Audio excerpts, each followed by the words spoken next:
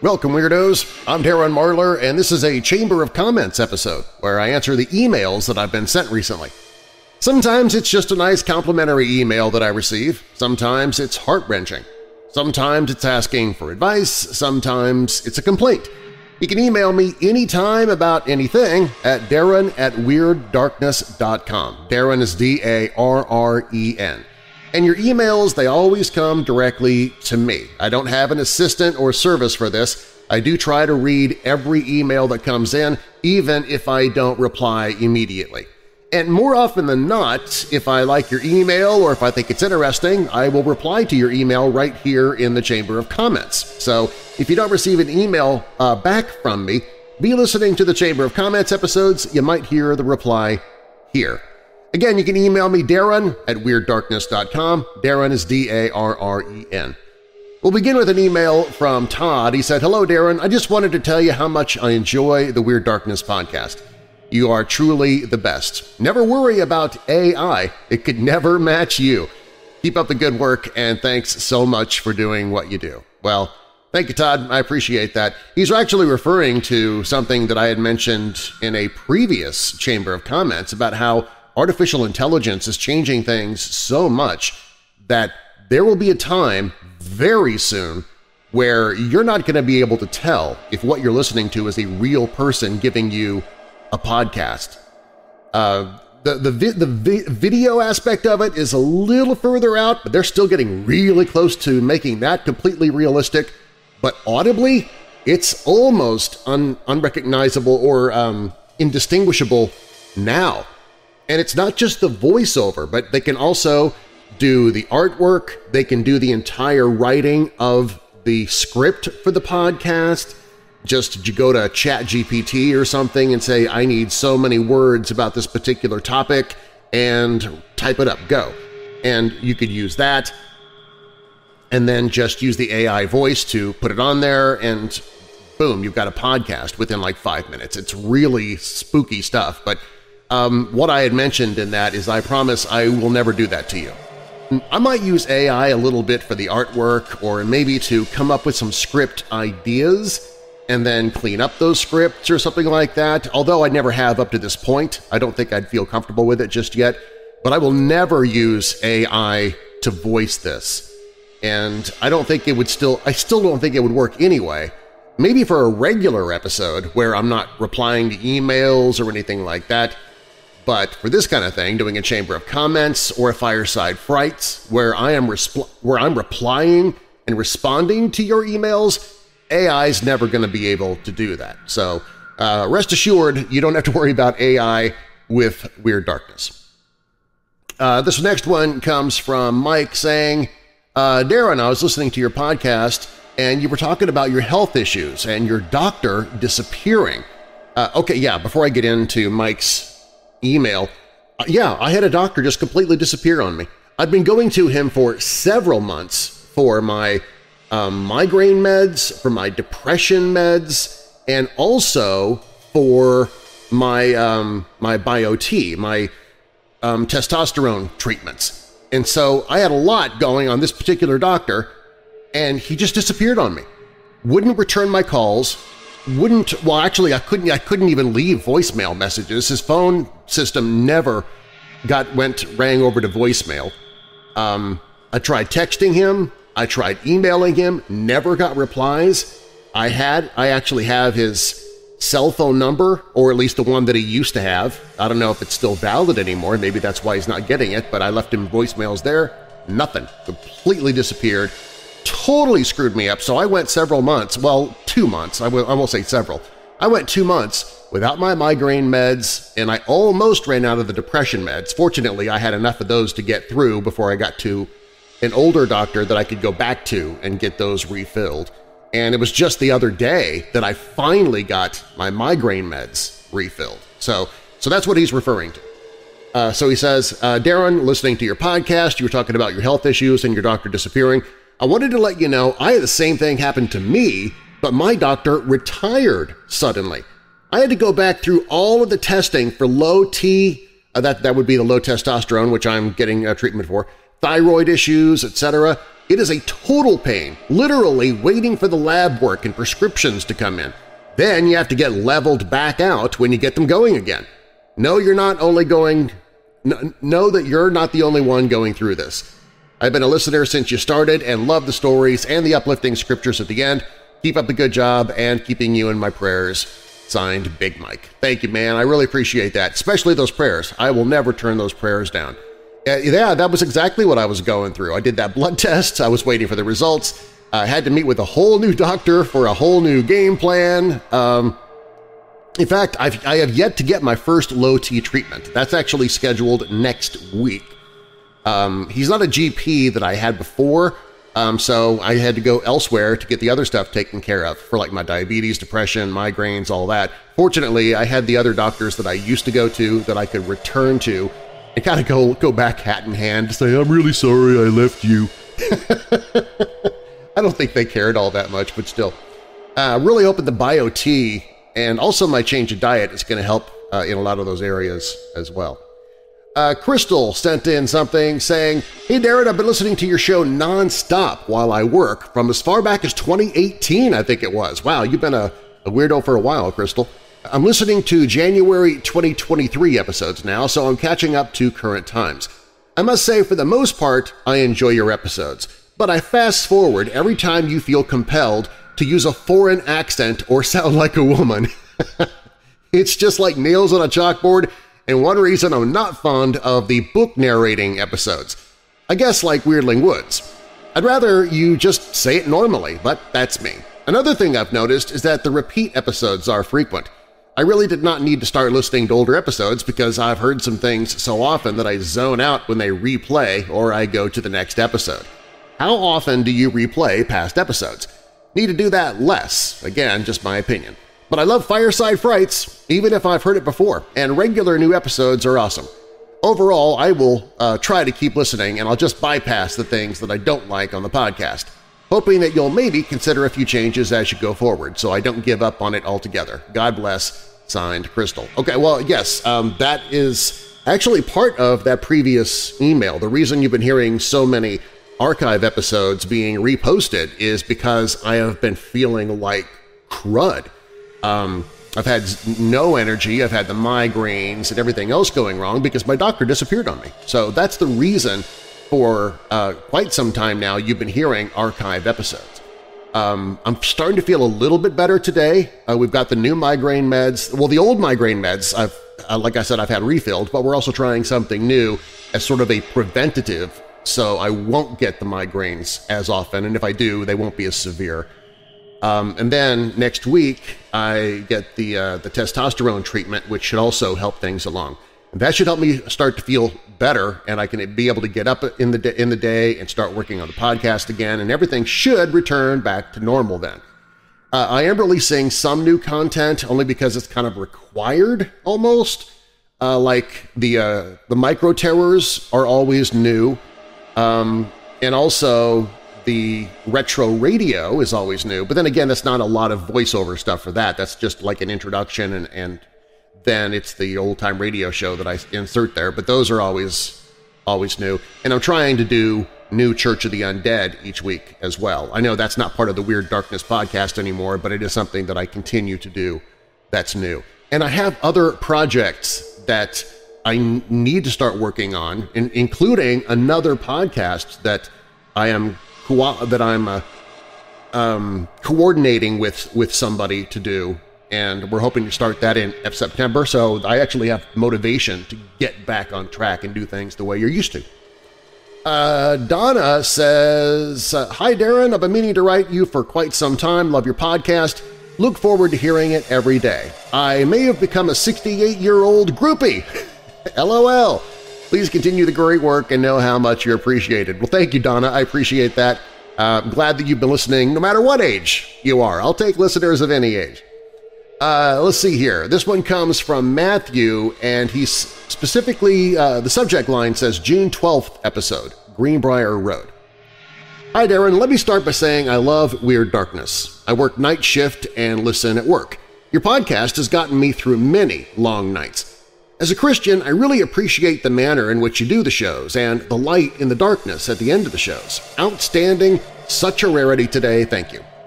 Last night I listened to the June 12th episode. The segment on Greenbrier Road caught my attention as I grew up in South Jacksonville and have been Greenbrier and have been to Greenbrier Road numerous times. My father took me out there as a small child in an attempt to scare me. What it did was fascinate me, and I continued to visit until I moved away in my early 20s. Although I never heard the story of the motorcycle rider being killed being the reason for the lights, the story I was always told was the lights were ghost lights of three sisters, the Anhorn sisters, who had grown up out there with a very abusive father. I almost always witnessed more than one light, never more than three. I've been chased by the lights. I've witnessed one light changing into two and then into three and then dance up and down along the road. I don't recall ever going out there that I didn't see the lights. I've on several occasions seen them during the day. I've seen my dad get out of the car and the light approach him as he stood in the road and just hover in front of him only to slowly fade out in the darkness. After I moved away, I returned for a visit and some friends, and I decided to drive out there. We were in two vehicles, one behind the other. We'd driven uh, maybe half a mile down the road, and all of a sudden it was daylight. There were cops of some sort with spotlights everywhere, in the woods, in the trees. We were surrounded. Needless to say, we were quite shaken. After some questions by a few of the officers, we were told to leave and that it would be best if we didn't come back, especially at night. Well, we thought that was very strange. That was the last time I was ever on Greenbrier Road. Thank you so much for your podcast and that segment, as it brought back some very good memories that I haven't thought of for quite some time. Keep up the good work, and I'll be listening. Signed, Matthew.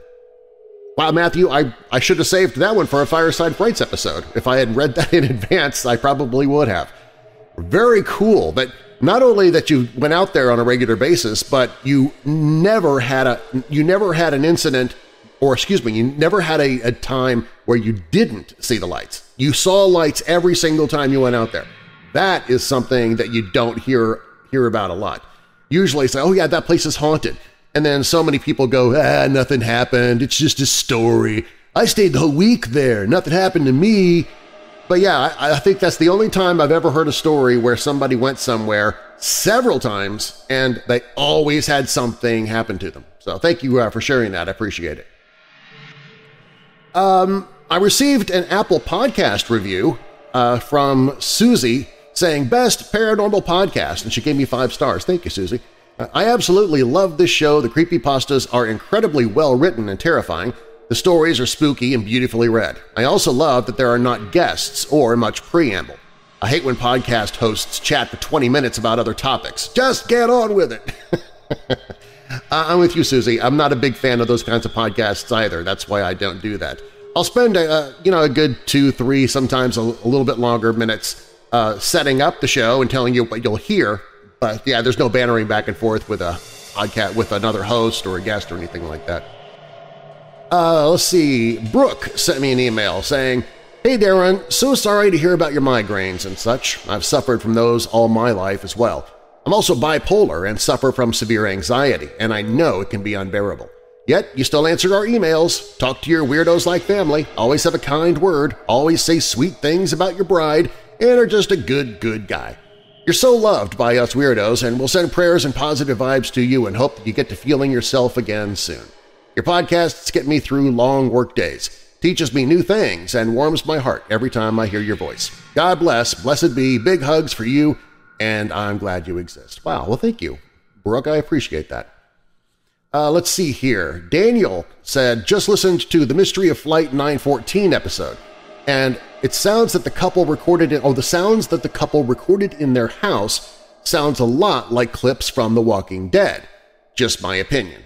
Love your show, gets me through my 10-hour shifts. Well, now I'm going to have to go back and listen to that again, Daniel. Uh, you might be right. Uh, although I think um, in that particular story, I think that took place before The Walking Dead was a thing. I'm, I'm not sure. Let's see, this next one comes from Mark. He said, Hi, Darren. I wrote to you a while ago about the troubles I've been having both mentally and emotionally. Since then, nothing's really changed for the better. I've lost multiple jobs, fallen deeper into debt, suicidal thoughts have been coming back recently, and just the other night I started self-harming and, while trying to push my friends away. Only positive thing really has been I found a boyfriend, but downside is he lives in England and I very rarely hear from him. The things I've been uh, the things I've been telling me has me scared he's going to leave part of the things I've been telling me. Oh, okay, all right. So the stuff that you've been telling yourself, the lies you've been telling yourself, have scared you that he's going to leave you or, okay, I see, that he doesn't care about you, um, that you'd be better off alone. All right. Now, I've opened up to my parents about my mental health problems, and my mom kind of understands. My dad doesn't know what to think. I've tried therapy when I could afford it. Honestly, it didn't work. Do you have any recommendations for any other kind of help? I want to get rid of these thoughts and try to live a happy life, not feel like I'd be better off dead. Sorry about the long and depressing message. Hope you and your wife are doing well. Take care. Signed, Mark. Mark, man, I am I am really sorry that you're going through such a trying time. I am. Uh, depression really is a, a monster.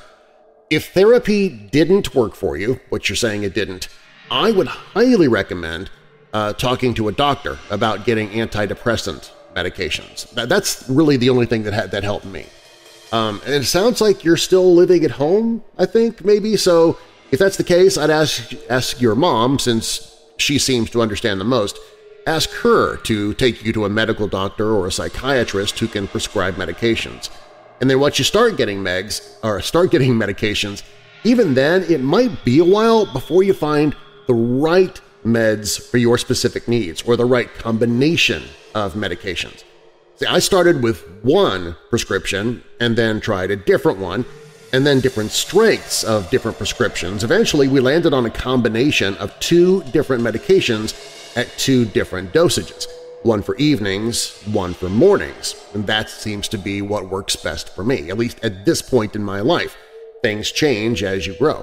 Uh, just don't get frustrated, all right? Don't give up. It, it, it's not going to help immediately if you do get uh, medications. It's a process, just like the just like the uh, therapy would have been a process if it had worked for you. Um, but it's still, it's well worth it once you figure out the right combination and dosage for you. I really do hope you can find a doctor to help you. I, I've, I've never done it, but hey, you know what? If I were desperate, I'd walk into an immediate care clinic and talk to them about it if I had nowhere else to turn. So I, I hope that helps. Uh, Barbara sent me an email. Darren, recently you had a caller who reported a weird event where a person received a call with the ID call ID caller of a phone which was in a separate room on a charger. It's possible to send a call using a false name and even false number to appear as the ID. I frequently receive a call from a persistent spammer who uses a different ID with each call. He's used hospital names, insurance, and other names to catch my eye. He even one time used my own name and ID that he sent to me. Talk about weird, thinking about getting a call from yourself. Signed Barb. Yeah, that is strange. And I'll tell you, the spammers are out in droves now, aren't they? I would say in the last two months, the email spam and the, uh, the calls, the texts, it, they've gone through the roof. I don't know what has happened. So I never answer the phone, ever, uh, unless I specifically specifically know who you are and if I'm expecting your call. Uh, if, if, if those two categories don't come together, I'm not going to pick up the phone. That's why God invented voicemail. You can leave an you can leave a message, and I will call you back once I know for sure that's that's who you are and I know what you want. Otherwise, you're not going to get me on the phone, even if you're a family member. Uh, again, unless I'm I'm specifically expecting you to call. And the uh, the emails, I don't even know if emails, you know, unsubscribing for all of this stuff even works anymore. I use Gmail for most everything nowadays, and even then, I'm like, all right, you know, mark as spam or mark as a phishing uh, message. I don't even know if that helps anymore. So yeah, I think we're all in that same boat, but that's weird. Yeah, you're you're right. They can they can spoof different people's names and phone numbers and everything so it looks on your caller ID like it's something that it's not truly not. All right, I got a couple of more uh, Apple Podcast reviews. This first one came from They Call Me Bing. and it's uh, five stars, quality and quantity. This guy puts out an insane amount of content. Can always find something that fits my mood and piques my interest. He's multi-talented, great voice for narrating and wide range of character voices. I also admire his heart and his advocacy for mental health. I can relate to the struggle. Although his religious views may differ from mine, I very, I, uh, very much respect his presentation of his beliefs and his obvious reverence and devotion to them. Ten stars, he says. Well, thank you. I, I appreciate that. Um, and yeah, I, you don't have to, to believe the same stuff I believe religiously in order to in, in order to be considered a friend of mine. Uh, this next one, uh, this uh, other Apple Podcast review comes from Evsmila? Evsamila? Anyway, uh, another five, five stars. I only read the five-star ones. Uh, but anyway, love his stories, love his voice. I so enjoy listening to Darren's podcast. He's a great storyteller. I got to meet him at America's Haunted Conference in Alton, Illinois, and, was and he was an incredible gentleman. Thank you. Well, yeah, that was a great conference. I'm, I'm glad that I went there. I've been trying to get to that particular conference for years, and so I'm glad that you met me there. It was a lot of fun. Uh, Steven sent me an email. I just listened to your podcast uh, uh from April 21st, 2022. It's the podcast where you admit to having problems with depression. My ears perk up when I hear the word depression. It was three days after you made this admission that my daughter committed suicide because of depression. I hope things are better now with you, but if you need to talk it over, I can be reached at such and such number. Uh, if I can't answer, then leave a message on my voicemail. Stephen, wow. Um, I am so sorry for your loss. I, I cannot even – I don't have kids, so I can't imagine what you had to go through and are still going through, I'm sure, when losing your daughter.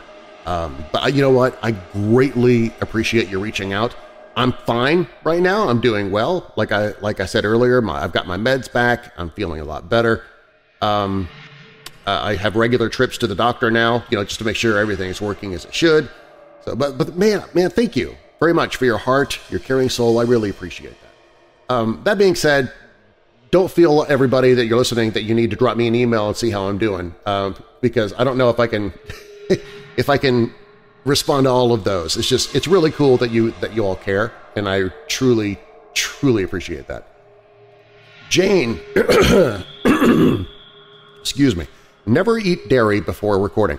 Uh, Jane said, Hi, uh, my name is Jane, blah, blah, blah. Excuse me.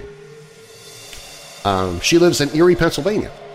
I did recently send you an email to share an experience I had. I hope you had a chance to read it. But I wanted to send you a separate email if that's okay. I wanted to send you a big thank you. A friend of mine had suggested that I would enjoy listening to some podcasts. She is a big fan of true crime and had given me a list of some true crime podcasts she thought that I would like. I did find them and loaded them on my tablet, and while I did truly like them, I went on to look for more links. I like true crime, but I also like the creepy and supernatural stuff. It's actually pretty funny. I don't come off as a person who is a horror buff. Most people think I'm a romantic comedy or chick flick girl. I guess in a way I am. I mean, I do try to be a good person and always be there for people, but I do love a great horror or creepy story. So I was looking for links to that on my tablet and I came upon your podcast. So I downloaded it actually just last week. I absolutely love your podcasts. Um, I am I am off oh I am off for the summer, so I have spent this last week listening to your podcasts. I think I've listened to about 20 so far. My girls are teasing me, telling me I'm attached to my tablet, but I'm truly enjoying them and can't stop listening to them. I just wanted to let you know that you have a new fan that truly loves your talent and really appreciates what you do. Also can't wait for the horror movie watch party this Friday. That would have been, of course, um, the other day. Uh, it's my birthday that day, and I can't think of a better way to spend my birthday. Thank you again so much, Jane. Jane, I remember you being in the in the in the uh, the chat, so it was great to have you there on the, on your birthday. Uh, yeah, I'm really glad you found the podcast, um, that you like what you're hearing. Addicted to your tablet, though. I mean, See, that's that's a lot better than other things you could be addicted to. I mean, and here, here's an idea. Take away your girl's mobile devices, see how quickly they realize that they're also addicted to their own mobile devices. There you go. okay, um, I've got two left. I'll, I'll save the really long one for the last. Um, So yeah, we'll go with this one. Uh, and I'm just going to say this person's name is Tank. Hey D, I'm a 45-year-old combat vet.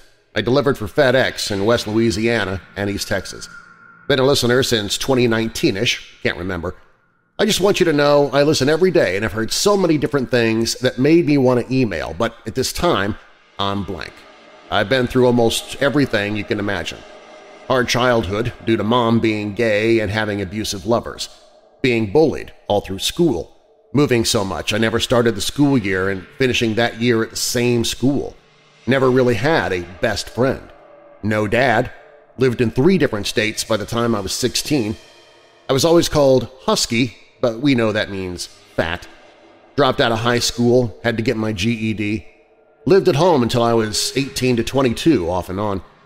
Needless to say, now I'm 45, did 20 years in the Army as a tanker, the last 10 years as a tank commander, two tours in Iraq as well as being a drill instructor at the Youth Challenge program. I guess I'm just writing this to say I'm not in a good spot. I have two teenage boys, divorced, not a lot's going well. Could be worse, but still holding on. I look forward to your podcast and even listen to older episodes when my route is long, and I'm not asking for anything, I just want to thank you. You have no idea what your podcast does to help us escape the hell on earth that some of us live 24-7. Thank you, Darren. Thank your wife as well because she is fighting the good fight as you do.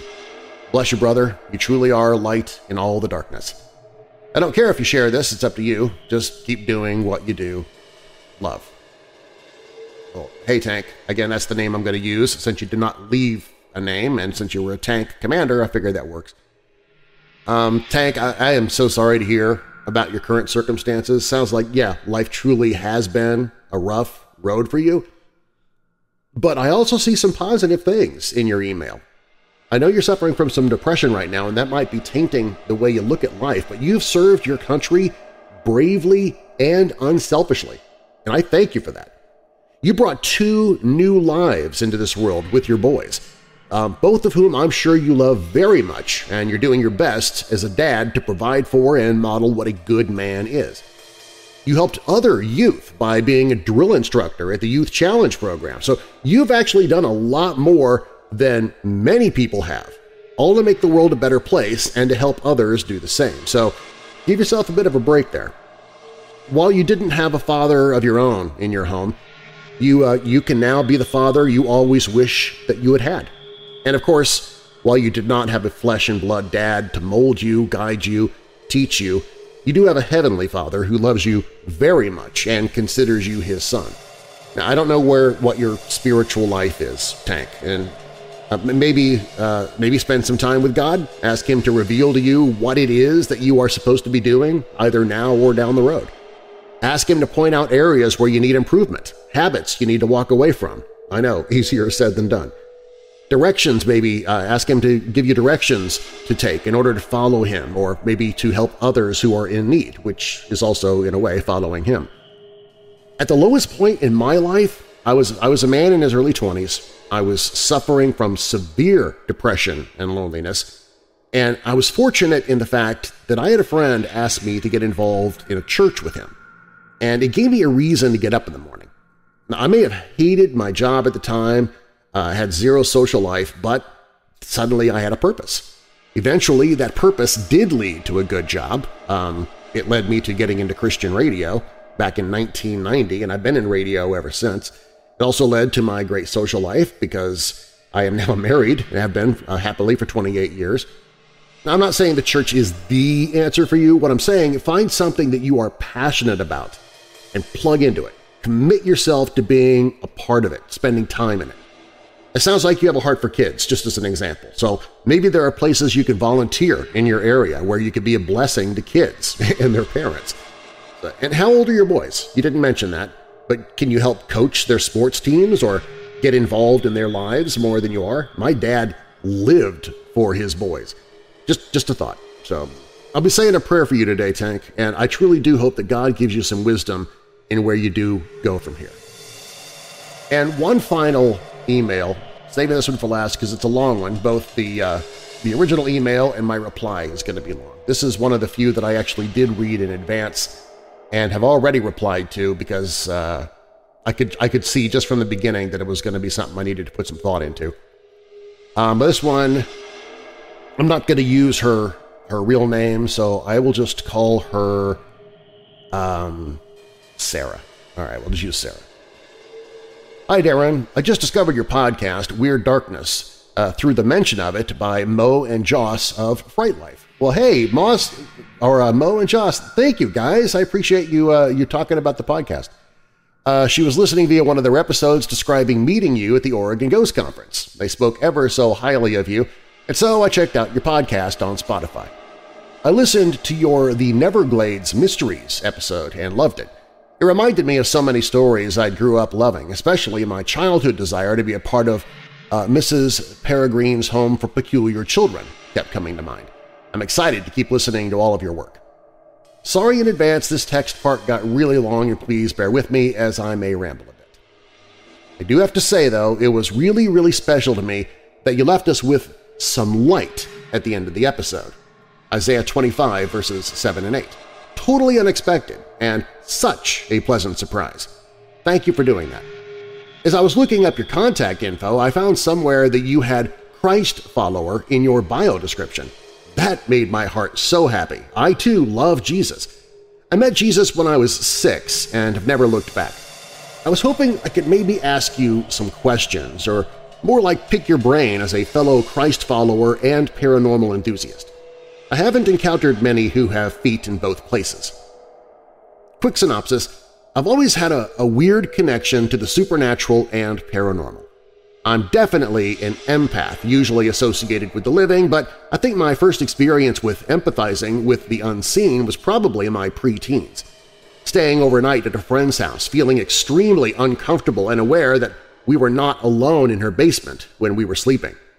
Every time I go back in my memory and relive that experience, I feel more and more sure I was picking up on something more than just the spooks kids get at a sleepover. I had a heavy bout of poltergeist experience and demonic oppression when I was 15 to 18, but my relationship with Jesus simultaneously remained strong and ultimately grew stronger through my experiences. My last encounter with something of that nature was about eight years ago. Without going into great detail, it was a very hard time in my life and I felt very alone except for the presence of Jesus.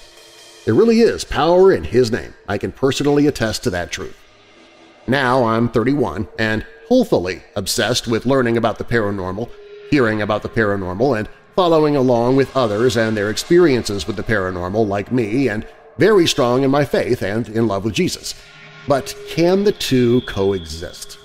I personally feel like yes, absolutely. I'm living it right now and have been living it since I was very young. But I've kind of always been told no, absolutely not. If you believe in the paranormal, then you don't believe in Jesus. My parents were always afraid of and against the paranormal outside the realm of angels and demons.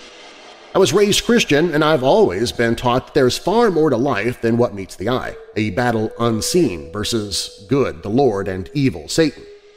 My parents have always been very verbal about this and very serious about being mindful and on guard to keep an awareness that there is an ongoing battle, higher than us, being fought.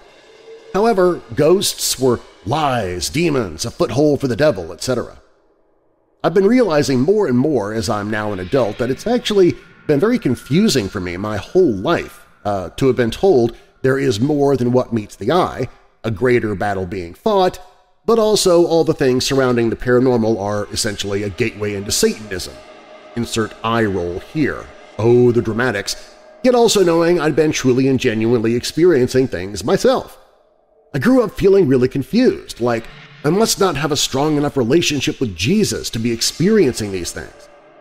Thankfully, the older, dare I say, wiser I got and the closer I grew to Jesus, the more I knew that was not true that that was a lie. And actually, the deeper I've gone down the rabbit hole of embracing my experiences and intrigue with the paranormal, the more I've seen, believed, and understood the power of Jesus. Anyways, sorry for the rambling. I guess what I'm getting at is how do you interact with the two? Clearly, a great deal of your identity is in Christ, as it's in your bio. And also, you must have some part of the uh, in the paranormal, Weird Darkness, the Oregon Ghost Conference, Lately, I've been really thinking a lot about how the two coexist, how, uh, how the fact that there is more than meets the eye is more complex than I think I was taught to me as a child. I'd love to hear your thoughts, if you're willing to share. If not, I so understand. It's all very personal. I fully recognize that. Ultimately, what I'm truly getting at here is thank you. Thank you for shining the light and also giving a little spookiness. Best to you and cannot wait to keep listening to Weird Darkness. Signed, her name, which I'll call her Sarah. Whew. Sarah, thank you for the novel. Goodness gracious. Yes, um, there is always a battle around us at all times, whether we realize it or not. Um, okay, yeah, all right. I am a born-again Christian, but I also believe in the paranormal at the same time. Now, I'm not going to say that I believe in everything paranormal, nor do I believe the same about paranormal subjects as most others do, but that does not change the fact that yes, the paranormal is real. Now, you've already touched on one aspect of the paranormal, angels and demons. So if you believe they exist, then you believe the paranormal is real, at least to that extent. Once you go past that, that's when people start to freak out about various aspects of the paranormal. You being sensitive to the spirit world might be a blessing from God. You very well could have the spiritual gift of discerning the spirits. 1 Corinthians uh, 12 verses 7 through 11. I had to look this up. Now to, to each one the manifestation of the Spirit is given for the common good. To another gifts of healing by that one Spirit. To another miraculous powers to another prophecy, to another distinguishing between spirits. All these are the work of one and the same Spirit, and He gives them to each one just as He determines. So the gift of discerning spirits, that's a Spirit-given ability to distinguish whether the source of what is presented is of the divine, human, or demonic origins. It might be in an atmosphere, an encounter, an event, a prophetic message that's sent your way. So Sarah, it sounds to me that you were feeling a presence of evil or demonic activity around you as a child. You just had no way of defining that at the time. You might be, you might as an empath, at your words, uh, empath, discern that someone is being dishonest with you perhaps, or has ill motives, or maybe is under a demonic influence without even knowing it. I think, I think the trouble your parents and others might have is you're using the word empath because that does have some negative connotations to it, especially for religious folk. You might want to begin thinking of yourself and expressing yourself as the one with the gift of discerning spirits. It's a bit more wordy, but it's probably more accurate anyway. Now, and I make the distinction, the distinction between the two because some people may seek to become an empath.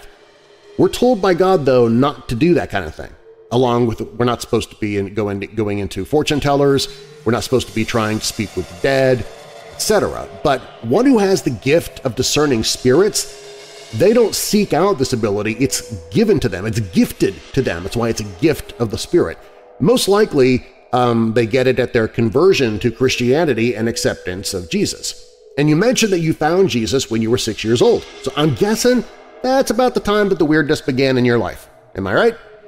So your poltergeist slash demonic oppression experience as a teenager sounds terrifying. But I also love that you that you that you said you leaned into your faith and came through it. So so many people might have crumbled into a ball and just given up on life during a trial like that, which was probably the point by the enemy. I mean, I can already see God preparing you, Sarah, for something in your future as what you've already experienced and come through, um, you've come through stronger, that could help somebody else that you come across who might be struggling with those same issues. Uh, for example, you don't, you don't want counseling about being successful from somebody who is a failure. You want advice from somebody who is successful. Well, you are that success when it comes to poltergeist and demonic oppression. You've come through it. You survived. You actually became a stronger Christian through it. I believe that because you were a born-again Christian and discerning of spirits, I think the enemy may have targeted you and tried to beat you down and walk away from your faith during that trial so that you would not be the positive influence to the world that the enemy knew you could be. But as Joseph said to his brothers who tried to kill him, you intended to harm me, but God intended it for good to accomplish what is now being done, the saving of many lives. Genesis 50 verse 20. And I certainly agree with your parents about avoiding the paranormal and not to go out seeking it. In fact, you, you should not even pray to angels. They are themselves their only created beings just like us. You should pray only to the Father, Son, and Holy Spirit. Jesus' death on the cross allows us that direct access to Him. And there are parts in the Bible where the existence of ghosts is mentioned, but it's taught to not seek them out. In the Old Testament, we can read the story of King Saul, and he, he, he asked to speak to the prophet Samuel. Saul made the connection um, through the Witch of Endor, 1 Samuel 28. That is a big no-no, but he did it. God allowed the experience. God didn't approve of the experience, but he did allow it. He's not going to work against us in our own free will. God allows us to do what we're going to do, um, whether we think, whether we know it's the right thing or not. Um, I mean, otherwise Jesus would never have been crucified because Judas would never have betrayed him. You know, God allows it. Well, anyway, upon reaching Samuel, so so Saul is talking to the Witch of Endor. He's asking the Witch of Endor to communicate with his dead, pro dead prophet friend Samuel. Samuel then comes in and he asks, Why have you summoned me? And then he and King Saul, they discuss the kingdom, and Samuel critiques the king. Um, and Saul asked for advice. God allowed it through his deceased servant Samuel. We are cautioned, however, in Deuteronomy 18.10 not to seek out sorcerers and witchcraft. It says, don't you dare sacrifice your son or daughter in the fire. Don't practice divination sorcery, fortune-telling, witchery. But the passage in 1 Samuel shows it is possible for somebody who has passed to revisit Earth and even speak to us. So ghosts exist, but they are never to be sought out. And I, I can hear it right now. I know a lot of people are getting really ticked off at me about fortune-telling and witches and how how I'm completely wrong. I'm, I'm just saying what the Bible says, all right? Believe it or not, I don't care. In the New Testament, we also read about the rich man and Lazarus, uh, uh, Lazarus, um, not the Lazarus from uh, betraying Jesus. This is a different Lazarus. Luke 16 verses 22 through 26 records the story of how this rich man looked up and saw a poor man, Lazarus, at peace in heaven. Now the rich man, he's in hell, and he realizes too late after being in hell his mistake in not believing and not caring for the poor folk who journeyed through this life. So he asked Abraham to send Lazarus as a witness to his family, to warn them before it was too late. Abraham in heaven, I'm sorry, I said Lazarus is in heaven, I'm sorry, Abraham's in heaven, but the, uh, but, uh, the rich man is asking Abraham to send his friend Lazarus, who is still on earth, to go witness to his family and warn them of his demise. So kind of like Scrooge, you know, you're learning your lesson and you want to go tell everybody, hey, don't be like me because you're going to end up in hell type of thing. So, but Abraham even though he was able from hell to talk to Abraham in heaven, Abraham declined the request. Uh, but this passage, it underscores the fact that as a deceased Abraham um, did converse across the spiritual divide with Lazarus. Somebody in hell spoke with somebody in heaven, and, and the other way around. So if those who suffer in hell can look upward, is it not possible under God's tutelage for the reverse direction, for people in heaven to look downward. Very possibly, but again, this is God's doing, it's His timing, His prerogative, it's not ours to try and make happen or to seek out. And these last few points I actually have made come from an episode of Church of the Undead that I recorded back in April of this year entitled Can the Dead Come Back and Visit? Uh, now, if you're not familiar with the Church of the Undead, it's a separate podcast from Weird Darkness that I started up in order to talk about this kind of stuff from a more Christian slash biblical perspective. And I'm usually narrating articles and studies written by other people, but in this particular episode, Can the Dead Come Back and Visit?, I personalize it quite a bit. Um, a few other Church of the Undead episodes you might find helpful, Sarah, would be Demon Possession 101 or Lose Unwanted Devils with Exorcise. Uh, the dangers of demons and the devil and what to do about them. If aliens are real, can I still be a Christian? What does the Bible say about Bigfoot? Is it time for Christians to embrace Halloween? And Jenny the Teenage Witch. I know that I went through that really fast, so I will put a link to all of these in the show notes so that you can find them. Um, I hope all of this helps somewhat, Sarah. Um, God bless, I guess, and uh, looking forward to hearing back from you. And again, if you have a question for me, uh, comment, whatever, you can send it to Darren at WeirdDarkness.com. Darren is D-A-R-R-E-N. And I'll see you back again in the podcast.